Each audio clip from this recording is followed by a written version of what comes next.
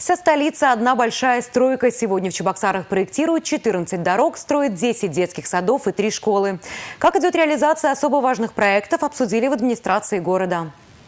В прошлом году на строительство и ремонт дорог в Чебоксарах было выделено более 2 миллиардов рублей из всех источников финансирования. С каждым годом сумма увеличивается. Из 14 проектируемых дорог 6 уже прошли экспертизу. Бульвар а, разработчик Таддор проект город Казань. Стоимость реконструкции 57,2 миллиона рублей. Протяженность 324, 326 метров. Количество полос 4. А, строительство автомобильной дороги по улице 1 Южной до пересечения с улицы Рихарда Зорги. Разработчик Таддор проект. Стоимость строительства 39 миллионов рублей. Протяженность 400 метров. Количество полос движения 2.